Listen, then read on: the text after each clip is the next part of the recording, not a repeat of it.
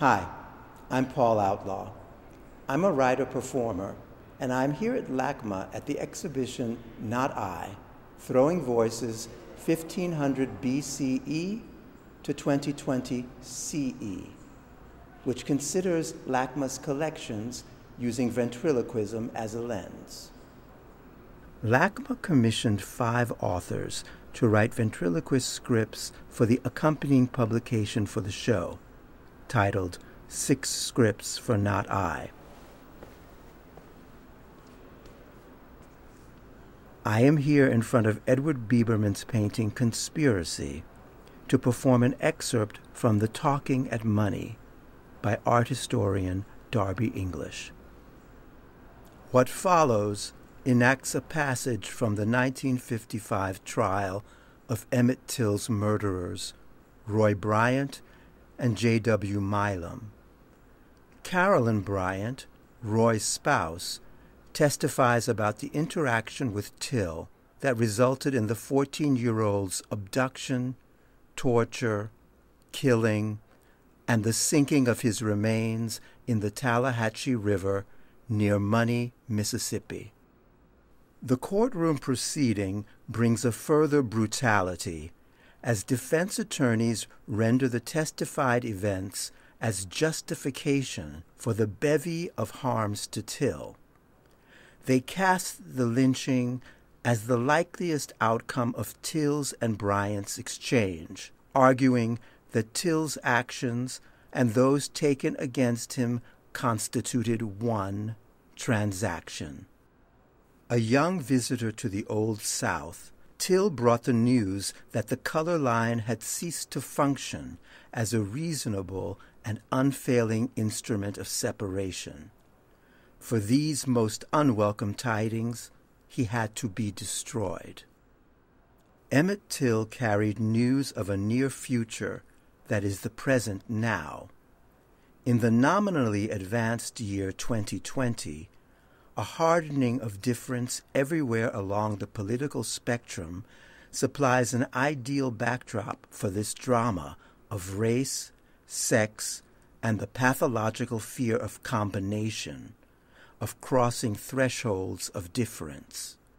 Till's life and death could have instigated a loosening of differences that altered established social forms and opened space for new ones. Instead, the one transaction logic persists, and it will do for as long as the inevitability of difference and its implications, restrictions, and consequences continue to be assumed. So hardened, difference attacks curiosity and sympathy with equal force, precluding imaginative or actual involvement with the other, substituting common sense for considered response. Most paradoxically, it shirks accountability to the primary not I, my paradigmatic you, your paradigmatic me, without which a self cannot form in the first place.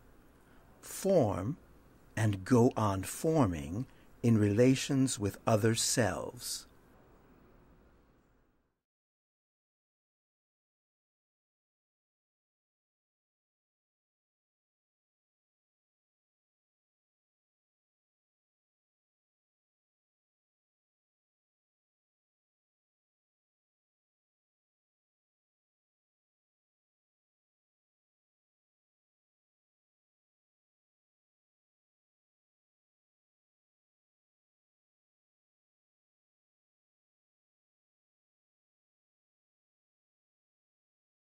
Mrs. Bryant, on Wednesday evening or Wednesday night, the 24th day of August, 1955, did anyone.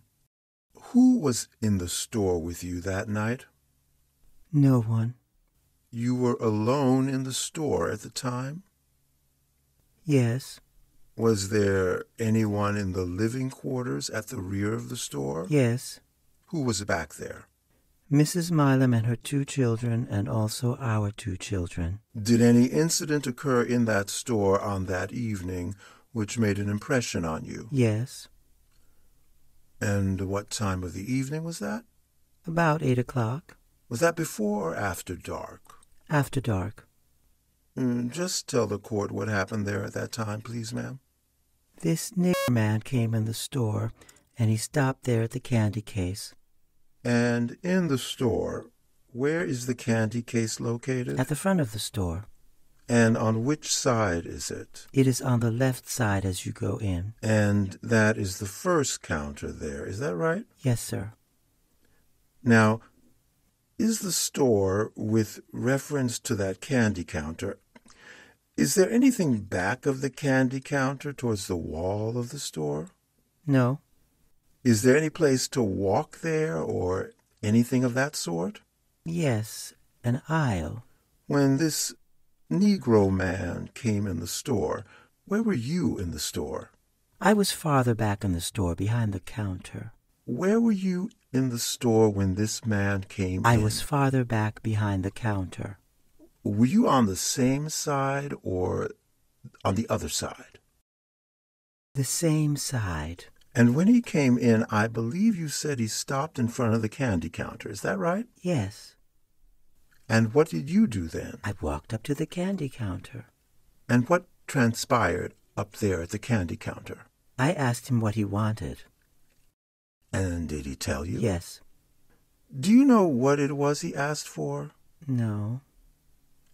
And did you get the merchandise for him? Yes, I got it and put it on top of the candy case. And what did you do then? I held out my hand for his money. Which hand did you hold out? My right hand. Will you show the court how you held your hand out? I held out my hand like this. Which hand was that? My right hand. And will you show the court how you did that? Like this. And did he give you the money? No. What did he do? He caught my hand. Will you show the court just how he grasped your hand? Like this. By what you have shown us, he held your hand by grasping all the fingers in the palm of his hand. Is that it? Yes. And was that a strong grip or a light grip that he had when he held your hand? A strong grip. And will you show the court what you did? Well, I just jerked it loose. Like this. It was about that difficult to get loose, was it? Yes. And it was with that much difficulty that you got your hand loose. Yes. Just what did he say when he grabbed your hand? He said, How about a date, baby? When you freed yourself, what happened then? I turned around and started back to the back of the store. You did what? I turned to get to the back of the store. Did you do anything further then? Yes. He came on down that way and he caught me at the cash register. You say he caught you. Yes. How did he catch you? Well, he put his left hand on my waist and he put his other hand over on the other side. In other words, with his left arm around your back Yes. and his left hand on your left hip. Yes. And he had his right hand on your right hip? Yes.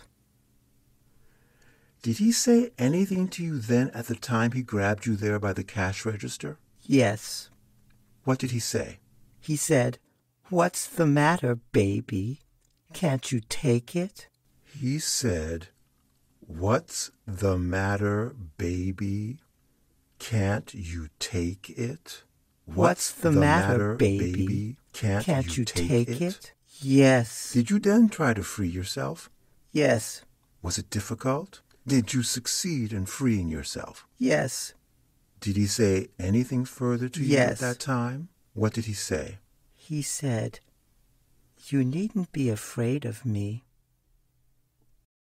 And did he then use language that you don't use? Yes. Can you tell the court just what that word begins with, what letter it begins with?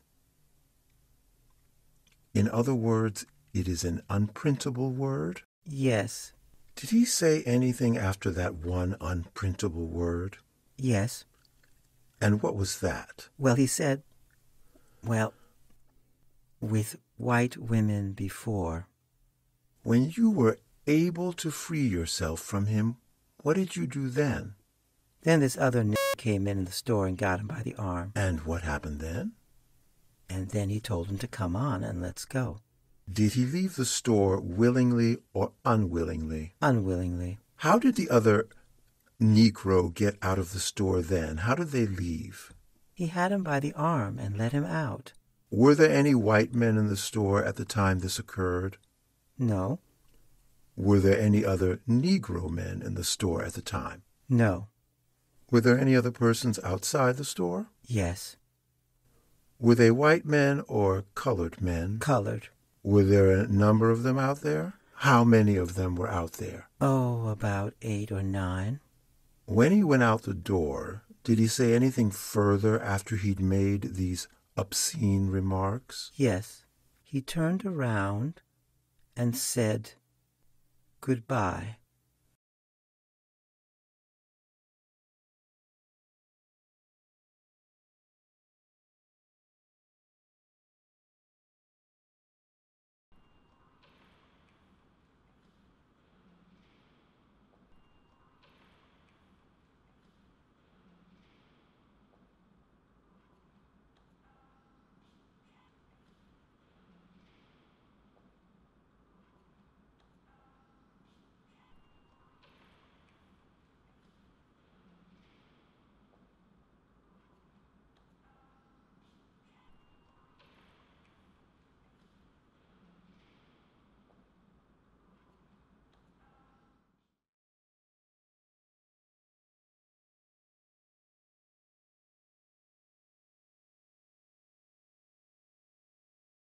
Conspiracy, from the Latin conspirare, literally to breathe together, to accord, harmonize, agree, combine or unite in a purpose, plot mischief together secretly.